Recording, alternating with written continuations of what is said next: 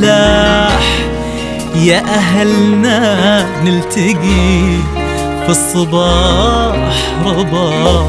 من أذان الفجر الفجر والصلاة والفلاح. والفلاح. يا أهلنا نلتقي في الصباح يا صباحك قطر ابتسامة وعطر وقضت كل البشر وفي الصباح رباح ويا صباحك قطر؟ ابتسامة وعطر وقضت كل البشر في الصباح رباح ويا صباح الطيبين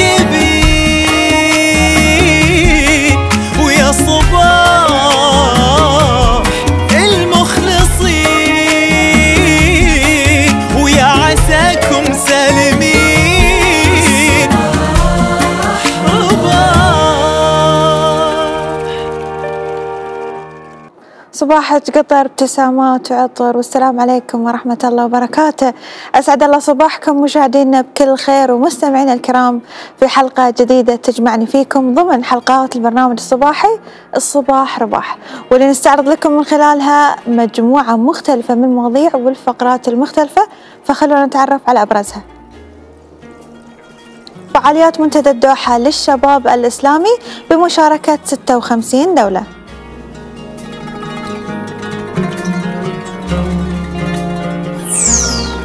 انطلاق المخيم الصيفي بالنادي العلمي القطري.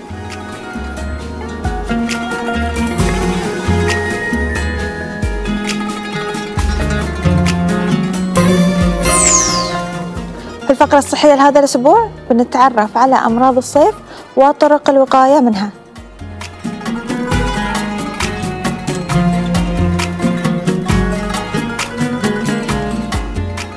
من عناوين حلقتنا لليوم إلى علوم الجو حتى نتعرف على حالة الطقس مع المتنبئ الجوي بإدارة الأرصاد الجوية ميثا البوعينين صباح الخير ميثا. صباح النور. ميثا عارفين عن حالة الطقس كيف راح تكون اليوم إن شاء الله؟ آه، بسم الله الرحمن الرحيم. حالة الطقس اليوم يوجد تحذير برياح قوية ومواجهة عالية في عرض البحر بسبب تعمق منخفض الهند الموسمي ويكون الطقس حار جدا نهارا مع غبار خفيف إلى غبار مطار على بعض المناطق. نتيجة الرياح القوية مما يؤدي لتدني الرؤية الأفقية وخاصة المناطق المكشوفة الرياح أغلبها شمالية غربية من نشطة إلى قوية السرعة. على بعض المناطق بتتراوح سرعتها من 12 إلى 22 عقدة. مع هبات تصل 30 عقدة على بعض المناطق ظهرا. وارتفاع الموج من 2 إلى 4 قدم يرتفع من 4 إلى 8 يصل 10 أقدام على بعض المناطق ظهرا. ويستمر التحذير ليوم الغد الثلاثاء برياح قوية وأمواج عالية داخل البحر. بتكون شمالية غربية من 10 إلى 20 عقدة مع هبات تصل 25 عقدة على بعض المناطق. وارتفاع الموج من 5 إلى 9 قدم يرتفع إلى 13 قدم على المناطق الشمالية الشرقية. تكون درجات الحرارة في منتصف الأربعين. ونذكر متابعينا بضرورة أخذ الحيطة والحذر وتجنب الأنشطة البحرية وتجنب التعرض المباشر لأشعة الشمس.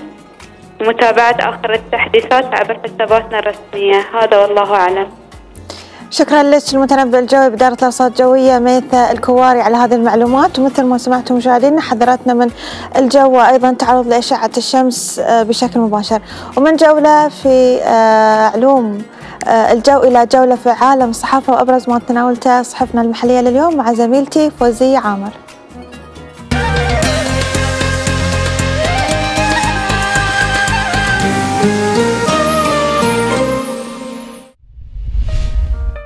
البداية من صحيفة الوطن وفيها متابعة للزيارة التي يبدأها حضرة صاحب السمو الشيخ تميم بن حمد آل ثاني أمير البلاد المفدى إلى الولايات المتحدة الأمريكية اليوم وتعكس عمق العلاقات. وفي هذا الإطار يؤكد القائم بالأعمال الأمريكية على الشراكة الاستراتيجية غير المسبوقة بين البلدين. وفي الخبر الثاني تأهيل القيادات الأمنية لكأس العالم 2022 ضمن برنامج للجنة العليا للمشاريع والإرث. وفي الوطن أيضاً. إنجاز جديد في البحوث الطبية بحث قطري بين أهم الاكتشافات الطبية المئة في بريطانيا. وإلى صحيفة لوسيل اللجنة المنظمة لاحتفالات اليوم الوطني تطلق فعالية ديوان لدعم برعاية وحضور وزير الثقافة والرياضة. وفي خبر آخر انطلاق فعاليات منتدى دوحة للشباب الإسلامي بمشاركة 90 شابا من 56 دولة. وفي صفحة الرياضة ناصر العطية يتصدر منافسات اليوم الأول لرالي طريق الحرير 2019 ونواصل جولة عناوين الصحف من صحيفة الشرق حقوق الإنسان والتنمية الإدارية توقعان مذكرة تفاهم لتبادل الخبرات حول العمالة الوافدة وتحسين رعايتها. وفي الشرق كذلك جامعة قطر تعلن نتائج مشروع خيام الرمضانية صديقة للبيئة والدكتور ماجد الأنصاري يقول قطر حققت اكتفاء ذاتيا وصل إلى 100% وفي الخبر الثالث المركز الإعلامي للشباب يعمل على تأهيل إعلاميات المستقبل ضمن برنامجه الصيفي. وبالانتقال إلى صحيفة العرب نتابع الصحة تطلق منصة إلكترونية رسمية للبحوث الصحية لدعم الممارسات المتعلقة بهذا المجال. وفي خبر آخر أكاديمية الخدمة الوطنية تدشن البرنامج الصيفي خدمة وطن. وفي الشأن الاقتصادي نحو واحد في المئة نمو تدفقات الاستثمار الأجنبي إلى الدولة خلال الربع الأول من العام الجاري. ونختم جولتنا من صحيفة الراية وفيها 200 طالب وطالبة في البرنامج الصيفي لقطر للبترول لتعريفهم بصناعة النفط والغاز. وفي الخبر الثاني ورشة مهارات حول صور قطر التاريخية نظمتها مكتبة قطر الوطنية. وفي صفحة فن حفلات موسيقية وعروض حية بمهرجان الدوحة للكوميديا.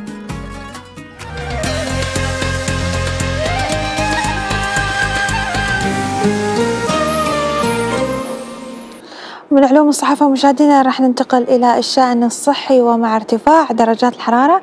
تنتشر مجموعة مختلفة من الأمراض اللي تأثر سلبا على صحة الإنسان. في الفقرة الصحية لهذا الأسبوع عاد لكم فريق البرنامج فقرة حول طرق الوقاية وسبل العلاج من أمراض الصيف فخلونا نتابع مع بعض.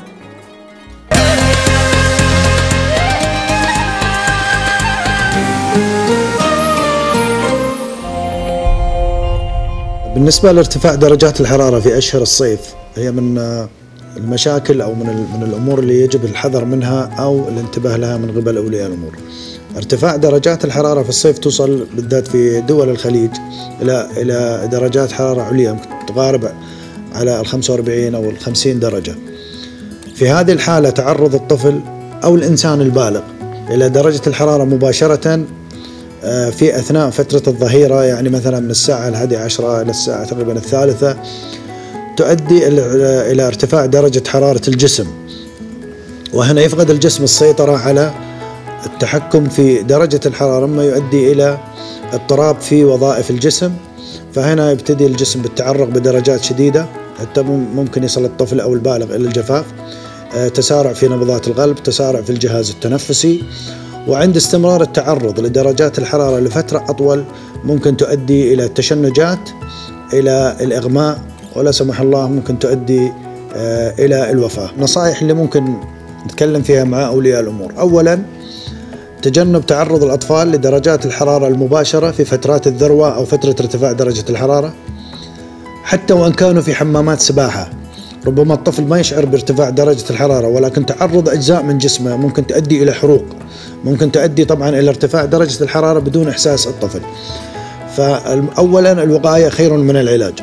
عدم التعرض وإن حدث وأن تعرض الطفل لدرجة حرارة مباشرة يجب أولا أخذ الطفل إلى منطقة مظللة ومكيفة نزع الملابس من من من, من على الطفل آه، تبريد الطفل آه، بوضع الكمادات أو المياه الباردة على أماكن اللي هو ال- العنق اماكن ال- الأبط والبداية بتبريد الطفل. آه، إذا كان الطفل واعي طبعا آه، يجب اعطائه مباشرة سوائل باردة والتوجه إلى أقرب مركز طوارئ أطفال لعمل الإجراءات الطبية اللازمة للطفل. المشكلة الأخرى اللي تواجه الأطفال أو تواجه بعض أو الحالات اللي شفناها في السنوات الماضية هو ترك الأطفال في سي... في داخل السيارات لفترة زمنية طويلة آه، وتعرضوا لإجهاد حراري شديد. مع كل أسف بعضها أدت إلى وفاة. وبعض الحالات الحمد لله تم آه، التعامل معها طبيا وأنقاذ الأطفال.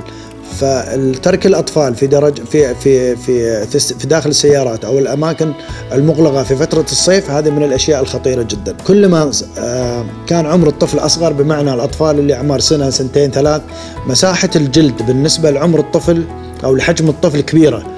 فالتعرض للإجهاد الحراري بيكون أكبر والمضاعفات آه، بتكون أكبر على ال- الأطفال.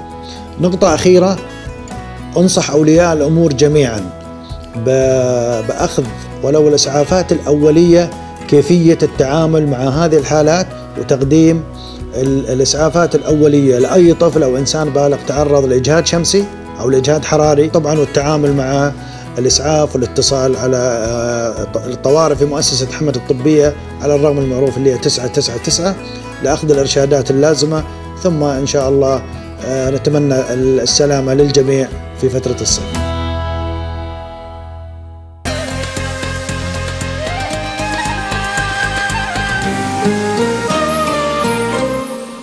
يعطيهم ألف عافية على هذا المجهود اللي يقومون فيه ونتمنى أن كلنا نستفيد من هذا التقرير. منتدى الدوحة للشباب الإسلامي بعد الفاصل خلكم ويانا.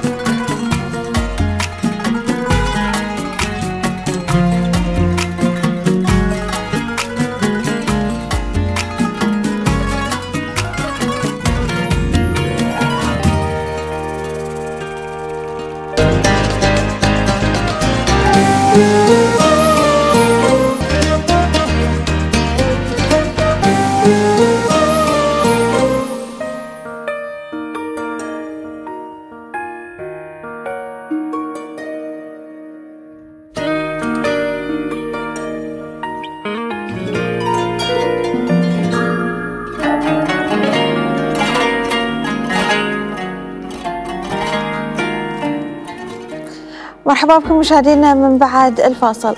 نظم مركز وفاق للاستشارات العائلية ورشة للمقبلات على الزواج والمتزوجات حديثا. تحت عنوان زوجي مشروع حياتي قدمتها الاستشارية الأسرية والتربوية نورة المناعي في مركز فتيات الدوحة اللي يسعدنا أن تكون ضيفتنا اليوم وتكلمنا عن هذه الورشة. صباح الخير أستاذة نورة. أهلا وسهلا. كيف أصبحتي اليوم؟ الحمد لله بخير نعم الحمد لله. طيب خندش شوي في الورشة هذه. يمكن الورشة هذه مثل ما قلتي حساسة. نعم. آه، كلميني عن هذه الورشة بشكل عام في البداية. شوفي يعني آه، الزواج يعني هو مدخل مداخل السعادة الحمد لله.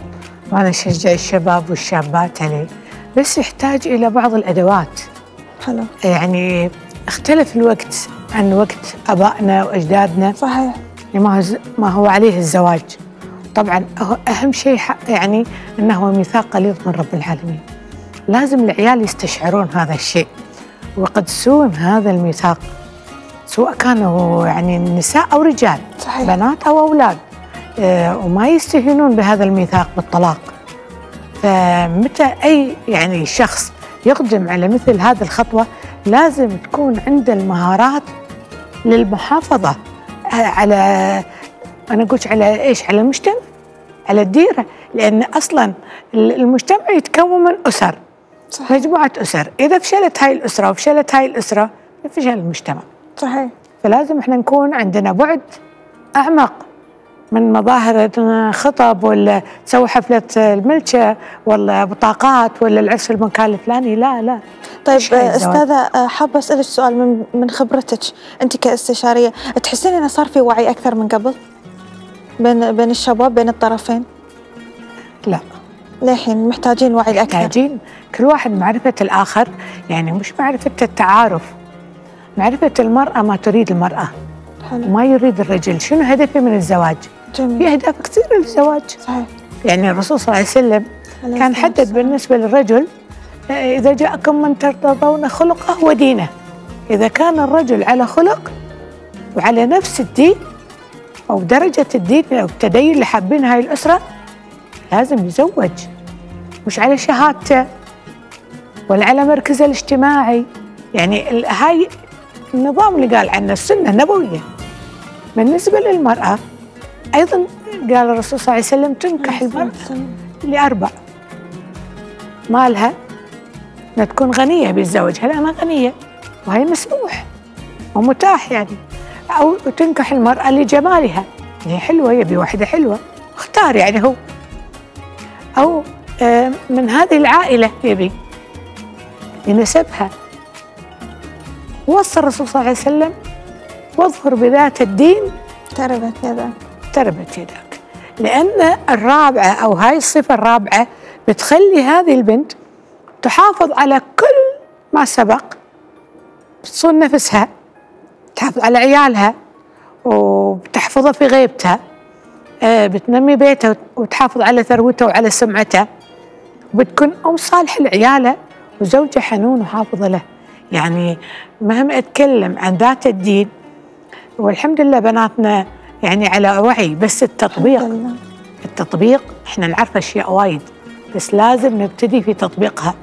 الرجل لازم يدرك إن مهام اختلفت مع ذاك الكداد اللي يروح يكد ويرجع بس صحيح. يمكن هذه الدكتورة آه، أو أستاذة نقطة وايد مهمة. اليوم اختلف الوضع. الشباب يمكن فاهمين الزواج غلط أو المجتمع قاعد يحط ال- ال- ال- الثقل الأكبر أو الدور الأكبر على المرأة. هل هذا صحيح ولا تحسين أنه في؟ لا صح. آه ما في حد يوعي. يعني الأسرة دورها كبير. الطرفين. لازم. اي ولدي من عند البلوغ. أنا ابتدي أفهمه. جايبه البلوغ يعني إن الإنسان يستطيع يكون أسرة وينجب أطفال. وإن شاء الله اللي أخذت الشهادة إن شاء الله الله بيساعدك وتكون أسرة. وترى الأسرة مش لعبة؟ أبو فلان وأبو فلان. يبي لها قاعدة في البيت يبي لها مسؤولية يبي لها مشاركة يبي لها حفظ هاي الأسرة وهاي المرأة اللي خذيتها. صحيح. فهذه المسؤولية ما تمرن عليها. لما يتزوج يخاف. يكون عنده رهبة من الفشل. فيطلع برا؟ فيهون الدور أكبر. يهون. شوفي ليش الحين ارتفع سن الزواج؟ أول كانوا صبيان من يتخرج من ثانوية عامة طلب المرأة. صح ولا؟ صحيح. وتخرج من الجامعة 22 طلب المرأة. الحين يقعدون 26 وانت تقول لي؟ يبغى تزوج 26 30 يا حبيبي. قال لا أنا مو مستعد. أنا صحيح ما كونت نفسي. أنا ما لومه في التردد لأن إحنا كأسرة ما نطرح عليه آه، الزيجات الإيجابية اللي انسعدت توفقت ولها يعني ثقلها في المجتمع صار وفي أسرتنا وفي فريجنا. دائما يشوفون الجانب السلبي آه، من الشباب حواليهم. فلان انفصل لأنه كذا وكذا وهذه انفصلت لأنها كذا. طب هذه مش أنا. صحيح. أنا إذا كنت شاطرة بشوف شو الأشياء اللي أفشلتها وأبتعد عنها. وأنا كشاب أشوف شو الأشياء اللي أفشلتها وأبتعد عنها وأستفيد. صحيح. لأن الحياة عبارة عن تراكم خبرات من وين أنا باخذها. صحيح. طيب لو بنرجع شوي عن للدورة أستاذة كلميني عن المحاور اللي راح تكون فيها. والله إحنا تك... يعني نتكلم عن تكوين مجتمع. حلو. ونمو المجتمع. شلون ينمو المجتمع؟ يعني الواحد في أهداف كثيرة للزواج. منها منها الإعفاف والمتعة الجنسية. يعني لا يربطون أنا ما حبيتها لا ما عجبتني. لا. يعني في 80% ممكن أشياء تعجبه خاصة إذا فطن الولد. يعني المودة والحب هذه إيه بالعشرة والتراكم والتواد. الله خلقها يعني بالتراحم وبالألفة. كيف ما إذا كان الزوج رجل محترم ومخلص وحنون هاي الأشياء تطلع في المواقف اليومية للمرأة. لازم بتحبه. هو سندها وحاملة اسمه وعياله. يصير له شان عنده بحياته كافيها يصرف عليها. ونفس الشيء بالنسبة للولد. إذا فكر أن هذه أم عياله حافظة بيته سكن سكن له. صحيح. يعني الأمن والطمأنينة. فلما يفكر فيها بيرجع من الشغل يركض بيرجع من أصحابه يركض. لهذا المكان الآمن. هذه السعادة اللي قلتي عنها أيوة وهذه السعادة المنشودة. لما يحس بالأمان هن لباس لكم. لباس التصاق في الجسد. يعني البنت لا أبوها ولا أخوها يصلون منازل التصاقها بزوجها. صحيح. والدرجة اللي وصلت فيها مع زوجها من المودة والرحمة ويعني وال- والصراحة والشفافية. حلو. طيب آه، لو بتكلم شوي عن آه، أهمية مثل هذه الدورات أستاذة يعني في ناس لحد اليوم ما مو بحابين يدشونها النسبة الأكبر للأسف. طيب كلميني عن أهميتها بالنسبة لل- للشعب اليوم شوفي. الواحد هذا علم ولازم الإنسان يعرفه. يعني شلون أنا مثل ما واحد بيروح سوق سيارة ما عنده ليسن ما تدرب ما يصير. صحيح صحيح. ما يعرف يتعامل مع المرأة هو يتعامل مع أخته آه، مع أمه. هذه العلاقة تختلف عن العلاقة الزوجية. صحيح. آه، لابد أن يكون هناك احترام. احترام احترام. يعني أي شيء تعطيه للمرأة أو تعطيه للرجل وأنت ما تحترمينه قل أنا أصرف عليها حاطة ببيت محسن بس هي تبي احترام صحيح. تبي كلمة لو سمحتي. البيت ما يكفي. أستاذة تبي أحبش نعم. البيت ما يكفي. وجود البيت بحد ذاته ما لا يكفي. هي جاية من بيت وعندها بيت وعندها أبو وعندها أهل. عندها سيارة وعندها ناس سيارة وعندها. معاش وعندها وظيفة لازم يعون. يعون إيش محتاجة. صحيح. فلازم يعطيها ما تحتاجه. يعني آه، ما يصير آه، مثل ما نقول آه، آه، المملكة أهم من الملك. صحيح. أعدل البيت وأحط شموع وما أدري إيش. زين وهو هو اللي يبي الحاجة إيش يبي؟ صحيح. هو يمكن ما يبي هيكل اللي حطيتيه. بالضبط. يبي بس كلمة حلوة جزاك الله خير ما قصرت. هاي اللي. قصدتي إنه لازم كل واحد يعرف نفسه ويعرف الثاني. نعم. هذه. طيب آه، من وجهة نظرك أستاذة شنو أسس الزواج الناجح؟ شوفي أول شيء اتقاء الله سبحانه وتعالى. وإحنا نعرف أن هذا ميثاق من الله ووصانا الرسول صلى الله عليه وسلم بالزواج وأنه مكاثر من الأمم يوم القيامة. فكا يعني فالتناسل وزيادة النشء وزيادة العيال يعني مهمة من مهمات الزواج. الحفاظ على المجتمع ترى المجتمع ما ينمو. ليش المجتمعات الأجنبية بتختفي؟ ما يتزوجون ولا يبون عيال. فمجتمعاتهم قاعدة تقلص تضمر. بعكس المجتمعات الإسلامية. تنمو هاي وصية لنا من الرسول صلى الله عليه وسلم. صحيح. فإذا إذا كان هذه من أهدافها. ثانيا أنه هو بيرضي الله. مدخل مداخل السعادة. الزواج مدخل داخل الغنى. خذوهم فقراء يغنيهم الله. هذا كلام الرسول صلى الله عليه وسلم.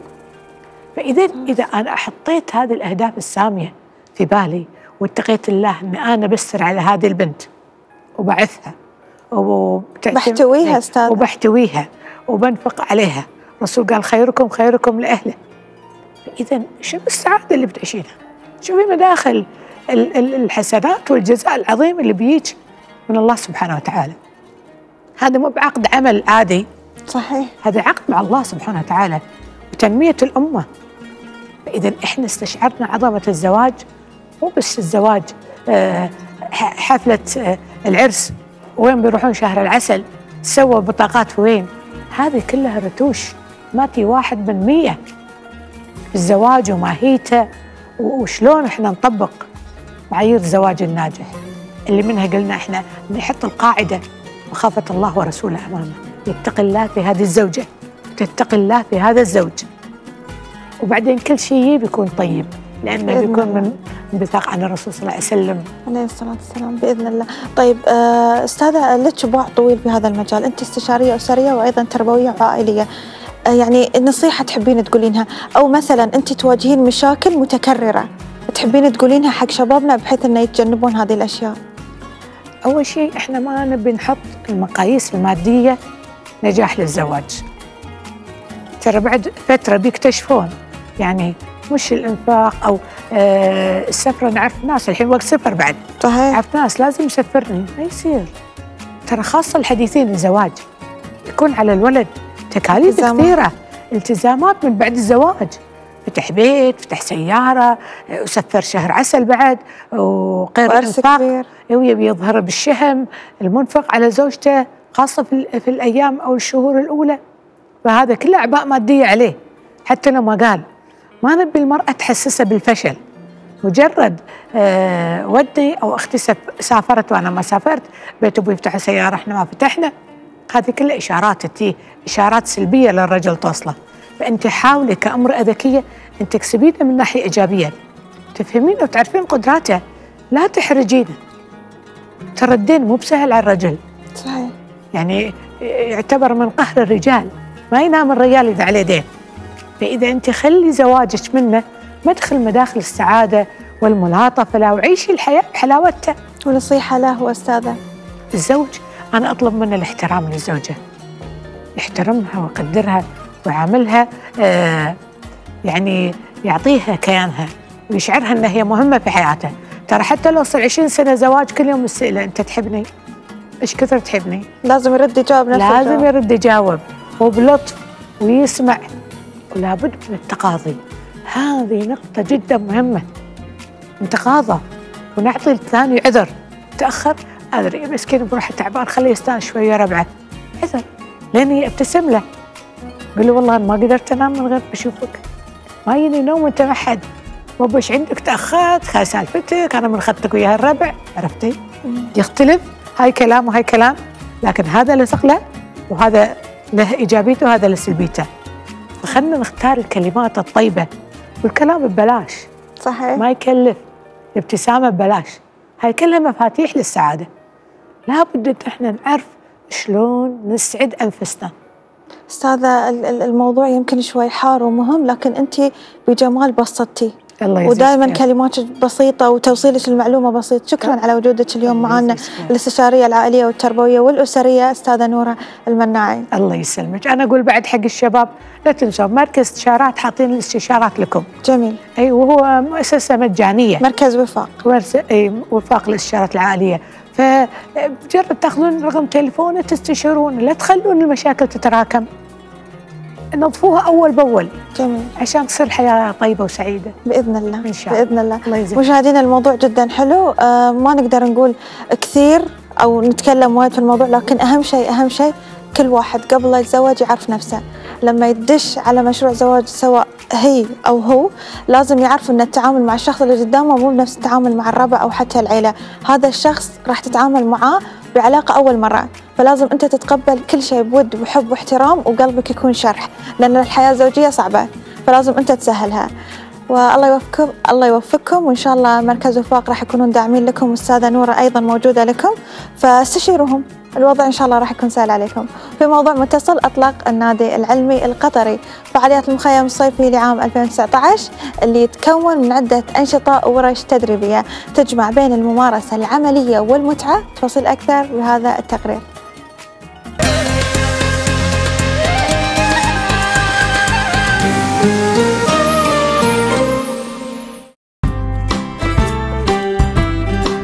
لتشجيع التعلم والابتكار في مجالات العلوم والتكنولوجيا. أطلق النادي العلمي القطري فعاليات المخيم الصيفي لعام 2019 بالتعاون مع مختلف الجهات والمراكز الشبابية بوزارة الثقافة والرياضة وذلك لتنوع الأنشطة البينية وتبادل الخبرات والمهارات. مع انطلاقة فعاليات النشاط تم انطلاق آه، اللي هو مساحة المبتكر الواعد. آه، هذه المساحة يعني أو المنطقة المبتكر الواعد هي تشمل آه، جميع أقسام النادي العلمي ولكن بشكل حق الأطفال الأصغر بحيث أن يقدرون يستخدموا فيها الأدوات بشكل آمن وفي بيئة سليمة يعني يكون فيها كل شيء متوفر لهم.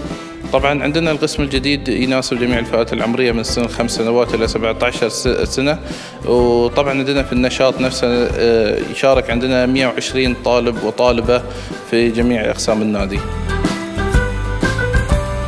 أنا شاركت في النادي العلمي القطري عشان عشان مثلا لو كنت حيرانة في شيء من العلوم في البيت عندي مشروع حق المدرسة.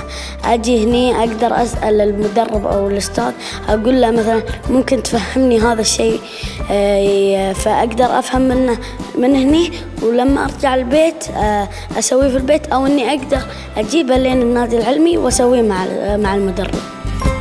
يقام في المخيم الصيفي للنادي. العديد من الأنشطة والفعاليات وورش العمل التدريبية لكل فئة عمرية ما يناسبها من البرامج حيث تجمع هذه الأنشطة بين التعلم والممارسة العملية والمتعة.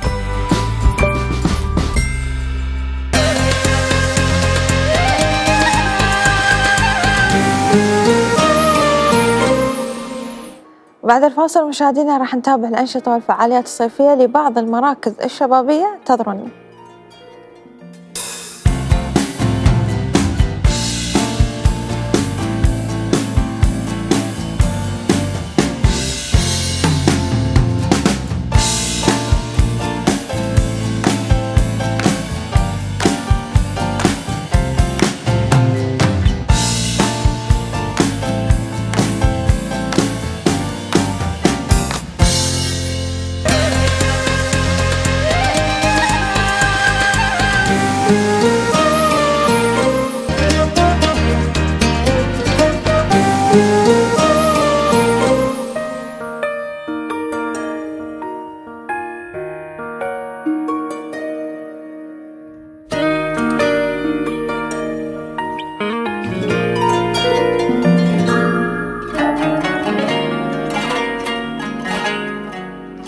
يا هلا فيكم مشاهدينا من بعد هذا الفاصل. راح ننتقل مباشرة إلى مركز قطر الوطني للمؤتمرات حتى نتعرف على فعاليات منتدى الدوحة للشباب الإسلامي والذي انطلقت فعالياته يوم أمس تحت شعار الأمة بشبابها.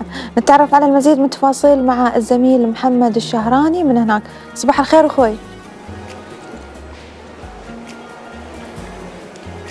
يا مرحبا فيه صبحت الله بالخير. وأيضا الساده المشاهدين صبحكم الله بالخير في هذه الأجواء الشبابية الثقافية التعليمية اللي تجمعني معكم في آه، منتدى الدوحة الشباب الإسلامي تحت شعار الأمة بشبابها اللي انطلق أمس بحضور عدد كبير من الدول آه، الإسلامية. أيضا عدد كبير من المشاركين بلغ آه، التسعين مشارك وخاصة من دولة قطر 20 مشارك يمثلون الوفد القطري. عدد من الورش آه، التدريبية بدأت حاليا معي أخوي محمد شاهين آه، كبير آه، كبيري آه، مدربي الورش اللي موجودين في المنتدى راح نسولف وياه. راح ندردش راح نعرف أكثر عن الورش أيضا الفعالية بشكل عام.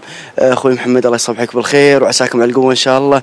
أمس تم الانطلاق. نبي نشوف الأجواء اللي موجودة. شلون لقيتوا تفاعل الشباب؟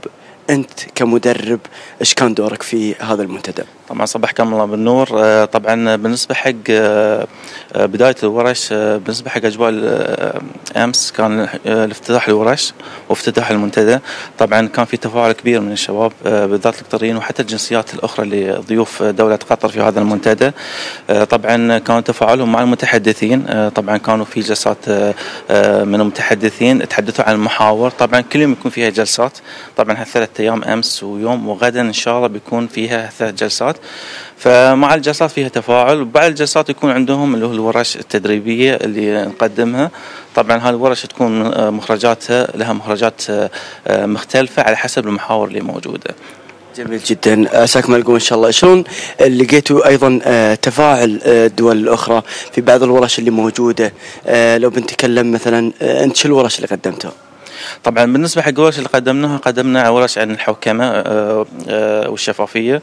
آه، واليوم طبعا قدمنا عن المبادرات والاستدامة شنو الاستدامة وشنو المبادرات وعلاقتها بال- بالمبادرات الشبابية. طبعا بكرة إن شاء الله بنتكلم فيها عن وسائل التواصل وأهميتها في المسؤولية المجتمعية لدى الشباب. فطبعا الورش متنوعة ومختلفة. أنا أتكلم الورش اللي أنا قدمتها في ما شاء الله ورش ثانية مختلفة تتكلم عن التعليم والتدريب وحتى بالنسبة حق مكافحة الفساد والشفافية. هالاشياء هذه المواضيع اللي تمس آه، الشباب آه، وتمس المجتمع اللي هم عايشين فيه؟ فهالشيء يحفزهم إن لا نبي نعرف عن الموضوع أكثر آه، نشارك فيه نتخذ فيه قرارات نعطي رأينا في هالمواضيع صدق مواضيع كبيرة بس الشباب لهم رأي مهم في هذه المواضيع أكيد. جميل جدا. بما ان لهم دور وأهمية أخوي محمد هل مثلا ترفع توصيات في نهاية المنتدى. أم آه، في جهات ممكن أنها ترفع هذه التوصيات لتنفيذها أو مناقشتها أو في الجلسة الختامية راح يتم إعادة مثلا ترتيب الأولويات من هذه آه، التوصيات اللي صارت؟ طبعا خل أعطيك إياها بتفصيل بسيط. طبعا نفس ما قلت لك ثلاث أيام فيها ورش. طبعا هذه الورش بعد كل ورشة لها مخرجات معينة. طبعا هالمخرجات هذه نتكلم عن توصيات مبسطة. آه، فيها عصف ذهني هذه الجلسات. بعد العصف الذهني يطلع مثلا توصية معينة أن نحن من هالجلسة أو هالمحور طلعت هال- هالمحاور وتبني عليها الأشياء هذه. آه، في اليومين الأخيرين يكون الأربعاء والخميس في نسميها المحاكاة الدبلوماسية. كل المخرجات اللي طلعت من خلال الورش راح نسويها على شكل محاكاة، المحاكاة هنا نتكلم إن الشباب يكون نفس برلمان كبير، ال- المخرجات اللي طلعوا شلون نحن نطبقها وشلون نحن آه، نحاول نحن آه، نسويها آلية تنفيذ معينة، فبالتالي هنا أنا حطيت حق الشباب فرصة إنهم يحاكون هالمخرجات ويطبقونها على أرض الواقع، مو بس أنا سويتها كمخرجات في الورش فقط، لا. بالإضافة إن أنا بحط لها آلية معينة حق التنفيذ بحيث إن أنا أوصلها آه، أرفع هذه التوصيات للتنفيذ بشكل كبير لمنظمة العالم الإسلامي. فما شاء الله آه، فيها إجراءات بسيطة وفيها إجراءات واضحة وتساعد إن نحن الشباب اللي موجودين أنا مش حق آه، منتدى بسيط لا في منتدى له مخرجات وأنا مساهم في هذه المخرجات. جميل عساكم على القوه إن شاء الله. آه، ختاما وياك أخوي محمد أكيد في تفاوت في الثقافات في التعليم ما بين الدول اللي مشاركة شيء طبيعي المواضيع اللي تطرح. مثلا لو تكلمتوا في موضوع معين عن آه، الشفافية عن الفساد أكيد في آه، ردود أفعال وتفاوت في المواضيع ما بين. شلون لقيتوا التناسق ما بين الوفود المشاركه خليني اخذ من ش- مثال على الشباب القطريين، طبعا في شباب قطريين إحنا قابلناهم. آه، قالوا نحن بالنسبة مثلا مواضيع مثل الفساد آه، عرفنا مثلا آه، دول ثانية شلون يتعاملون مع هالقضايا هذه، فيقولون إحنا لا اكتشفنا آه، ساعدنا هالتبادل الثقافي بيننا وبين الشباب اللي موجودين معنا من دول مختلفة إن هالقضايا شلون يتعاملون معاها، نظرتهم حق هالقضايا شلون، فأنا بالنسبة لي اكتسبت آه، ثقافة أو طريقة تفكير مختلفة في هالمواضيع. فبالتالي ما شاء الله هالاشياء اللي حسيناها ردود إيجابية من من من خلال الشباب ال- القطري أكيد بعد الشباب بالعالم الإسلامي بعد عندهم هالردود وأكثر. فهالشيء اللي أسعدنا آه، من خلال آه، آه، ردود الأفعال الموجوده حق الشباب. جميل جدا. أخوي محمد شاين بيض الله وجهكم ما قصرتوا عساكم على ألقوه إن شاء الله. وبالعكس جهودكم واضحة في هذا المنتدى. الله يجزاكم خير وشكرا على هالتغطية الإعلامية على منتدى الدوحة الشباب الإسلامي. طبعا إن شاء الله حياك الورش ها؟ إذا الله سهل. الله يسلمك وياك إن شاء الله. عساك على القوه يا أخوي.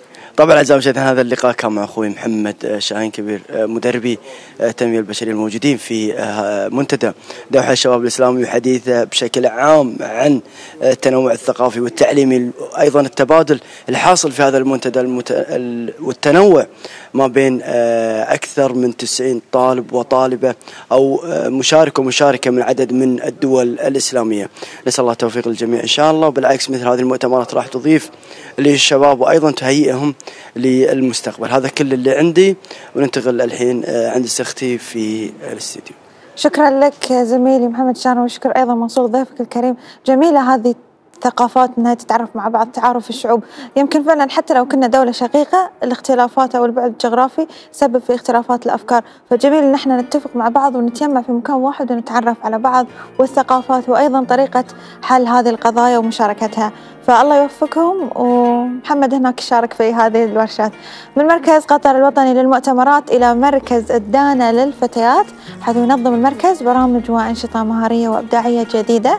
وورش متنوعة ضمن النشاط الصيفي الحافل لهذا العام واللي يسعدنا آه، واللي يسعى من خلالها إلى صقل المواهب الشبابية وتطويرها للمزيد حول هذه البرامج وتحديدا الورش الفنية. معنا الأستاذة جميلة الأنصاري أخصائية فنون تشكيلية في مركز الدانة للفتيات. مرحبا جميلة. هلا حبيبتي. صباح شلونك اليوم؟ صباح خير. الله يسلمك الحمد لله. آه، جميلة آه، شفتي معاي ال- ال- المنتدى. إيش رأيك فيه؟ طبعا إحنا مركز الدانة للفتيات نتبع وزارة الثقافة والرياضة. آه، مثل هالأشياء هذه ضرورية للشباب آه، يعني سواء التعارف على الدول الثانية أو الاختلاط مع آه، مثل ما نقول الثقافات ال- الأخرى يعني يطور وي- وينمي الشخصية. جميل. يعني أنتم عندكم مثل هذا المبدأ هو التعارف هو الانخراط والانخلاط بينهم. إحنا في في المركز عندنا عدة أنشطة عندنا ثقافية فنية رياضية جميل. وعندنا معسكرات ومن من ضمنها معسكر المواهب. هو تقريبا نفس الفك الفكرة هذه معسكر المواهب ال- الفتاة تستعرض آه، مواهبها يعني سواء في الرسم في الحرف في الأشغال اليدوية بحيث أن هي توقف قدام ال- الفتيات وتشرح لهم شلون سوت الشغل هاي أو شلون. رسمت أو شنو استخدمت. هذا هاي تعلمون على بالضبط. ما شاء الله. إيه، ينمي يعني نقول ثقتها بنفسها الإلقاء. مواجهة الجمهور يخلي عندها شخصية قيادية. حلو. وش تحسين تفاعل البنات معاكم؟ حلو يعني آه، تشوفينها مثلا إذا رسمت رسمة أو سوت شغلة تي الأسبوع اللي بعده جايبه شيء ثاني وثالث ورابع ومتحمسة يعني إنها تراوي البنات وتشرح لهم. مثل هذه الأشياء يعني تخلي الفتاة تستغل ال- الوقت بشيء مفيد. صحيح. طيب آه، يمكن إحنا شوي رحنا بعيد لكن خلينا نرجع على الورش التدريبية اللي عندكم أو حتى برامجكم. كلميني عنها. آه، مثل ما قلت لك إحنا مركز ثقافي آه، فني رياضي شامل. من أنشطتنا الفنية عندنا ورشة الديكوباج. آه، ورشة جميل. الديكوباج اللي هو مثلا عندك في البيت مزهرية أو صندوق أو حتى طاولة أو كرسي. يعني قطع عادية شلون تحولينها حق قطع فنية؟ بعد عندنا ورشة ال one stroke. هي عبارة عن ورشة الضربة الواحدة بالفرشاة. إن انت تحطين لونين بالفرشاة وشلون تدمجينهم مع بعض؟ بضربة واحدة يعني. آه، نعلمهم في البداية شلون يسوون البتلات شلون يسوون أوراق ال- الشير بعدين تسوية زهرة كاملة. طبعا هذه مع المدربة الأستاذة مريم أبو جسوم. آه، عندنا أيضا غير الديكوباج وال والأشغال اليدوية عندنا الرسم أيضا آه، الفتيات الصغيرات عندنا بعد آه، ورشة آه، الورش الرياضية مثل السباحة وعندنا ورشة. اي ورشة الهوكي رياضة الهوكي آه، بالإضافة إلى زومبا ولياقة بدنية جميل هذا كله في المركز السباحة. والهوكي إيه. طيب خلينا نتكلم عن واحدة واحدة شلون السباحة مع بناتنا؟ آه، السباحة يعني رياضة وايد حلوة يعني غير أنها لياقة بدنية هي ترفيهية بال- بالأكثر. للفتيات وفيها نوع من التعليم يعني يتعلمون وهي شيء ضروري إن إحنا نعلم بالذات الفتيات الصغيرات إن شلون يتعلمون السباحة بعدين شوي شوي إن شاء الله يتطورون. حلو جميل. يعني فعلا يمكن إحنا ما نتسبح وايد لكن الواحد ما يدري متى الواحد يحتاج مثل إنه يتعلم أشياء السباحة. ضرورية طيب خلينا. نتكلم عن الهوكي. إيش معنى الهوكي اخترتوها؟ هي هي رياضة شوي مثل ما نقول صاير التركيز عليها أكثر. وحابينها لأن هي ما تقدرين تمارسينها مثلا في المدرسة ما تقدرين تمار- تمارسينها في أي مكان. فحبينا إحنا نطلع بشيء جديد إن البنات يحبونه ويتعرفون عليه. حلو. وشلون شفتي تفاعل البنات مع هذه الرياضة بالتحديد؟ رائع بصراحة. حلو. طيب عندكم أيضا الزومبا. الزومبا عاد ما حد يحبه ما حد ما يحبه عفوا. يعني فعلا هو يمكن صار له سنين من تعرفنا عليه لكن لحد اليوم إحنا نحبه. كلمينا عن تفاعل بنياتنا يعني معاكم. آه، هو- يسوي لك نوع من ال- اللياقة ال- البدنية. صحيح. ومثل ما تقولين آه، هي ترفيهية أكثر من كونها يعني مثل ما نقول إنها رياضة. ال- الفتاة تدخل تستمتع. جميل. طيب آه، خلينا نتكلم شوي عن الفئات العمرية اللي تاخذونها. على هذه البرامج. آه، عندنا حبيبتي من تقريبا من خمس سنوات لين سبع سنوات. هاي نقدر نقول البراعم بعدين من ثمانية لتسعة الزهرات وبعدين عندنا من عشرة لين 12 ومن آه، 13 فما فوق جميل. لأقصى عمر ممكن كم تاخذون؟ آه، فئة الشباب. حلو. المركز يعني مركز. عادي الأمهات يجون مع بناتهم. أحيانا إيه عندنا إحنا ورش نقدمها مثلا للأم وبنتها يشاركون مع بعض. حلو. طيب خلينا نتكلم عن عدد المنتسبين إذا عندكم أرقام. آه، لهذا الصيف الحمد لله عندنا حوالي 500 منتسبة. ما شاء الله. عدد مو بسيط على مركز واحد. الحمد لله. حلو. ما شاء الله سنة عن سنة قاعد يفرق الموضوع معاكم.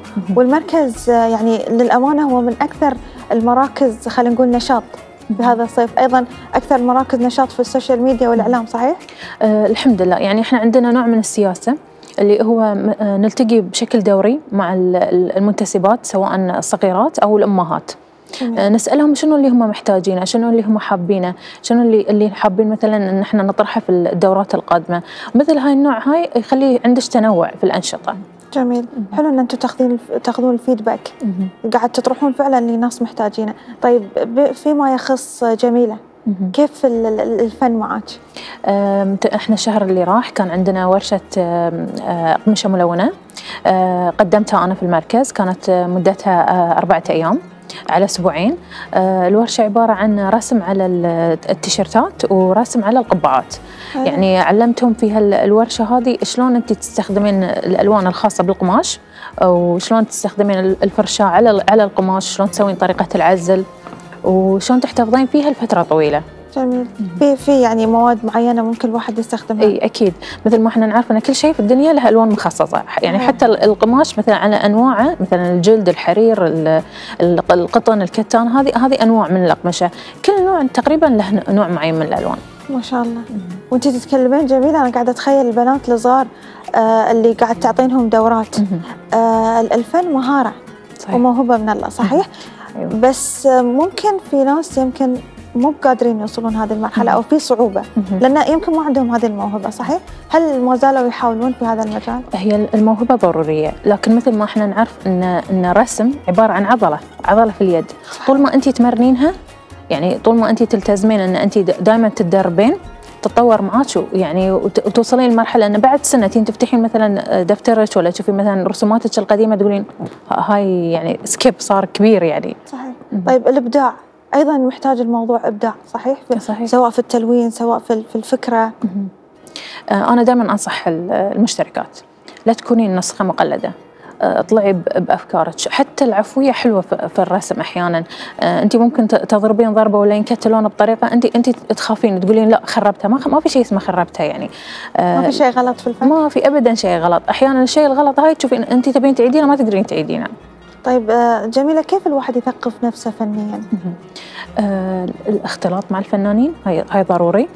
الدورات والورش بالإضافة إلى زيارة المعارض. هذه أشياء جدا مهمة أن الشخص مثلا أو ال- آه، مثلا الفتاة الصغيرة إذا هي تبي تدخل المجال يعني تلتزم بهالأشياء هذه. ان هي تشوف الفنانين وتنخرط فيهم. إي أكيد. يعني حتى لو تقول مثلا أنا ما أقدر أحضر المعرض نقدر نتابع كل شيء أونلاين. الحين مجرد انت تدخلين تفتحين اليوتيوب في أشياء انت ما تعرفينها تتعلمينها.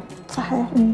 الله يوفقك على اللي قاعد. تعطينا حق بناتنا الصغار والله الله يوفق. مركز الدان اللي دائما يسعى إنه هو يقدم الأفضل والأفضل لعيالنا كلمة أخيرة تحبين تقولينها آه، بدينا إجازة الصيف آه، أنصح ال- الفتيات سواء اللي خلصوا المدرسة واللي خلصوا الجامعة.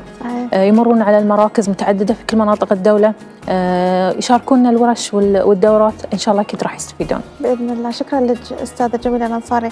فنانة تشكيلة في مركز الدانا. آه الله يوفقكم إن شاء الله. مشاهدينا آه لهني نكون وصلنا إلى ختام حلقة اليوم من الصباح رباح.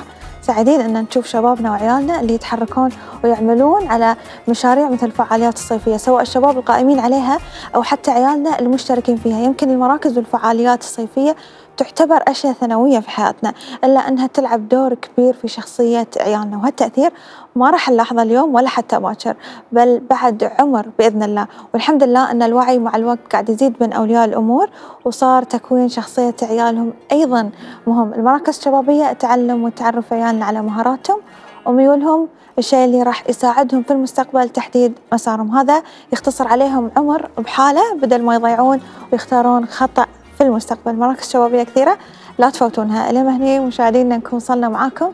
نهاية حلقتنا لليوم تواصلوا معنا عبر مواقع التواصل الاجتماعي الظاهرة لكم أسفل الشاشة. نشوفكم إن شاء الله في حلقة أخرى. مع السلامة.